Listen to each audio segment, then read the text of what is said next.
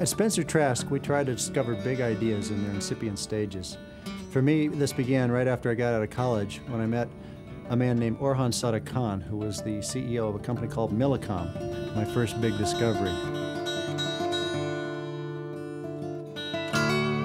It was 1983, and Millicom was creating a joint venture which later became Vodafone, developing a technology few people understood, cellular telephony.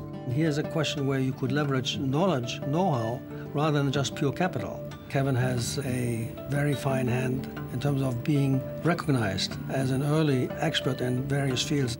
His support then generated a tremendous amount of investment activity that uh, allowed us to grow and create basically a, the capital for Millicom.